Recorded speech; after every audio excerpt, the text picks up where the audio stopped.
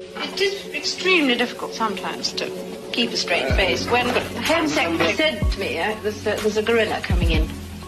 So I said, you know, what an extraordinary remark to make, very unkind about anybody.